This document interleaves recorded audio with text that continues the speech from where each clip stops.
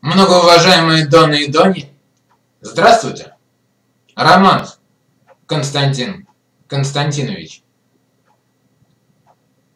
Я не могу писать стихов, когда встречаюсь порою среди всяких дрязг и пустяков со лживой пошлостью людскую. Я говорил себе не раз, оставь, не обращай внимания, смотри, не каждый ли из нас несовершенное создание.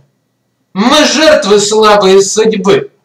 Проступки наши так понятны. У розы даже есть шипы. И есть на самом солнце пятна. Но нет. Пусть ум твердит свое, душа с рассудком не мирится. И сердце, бедное мое, тоской и злобою томится.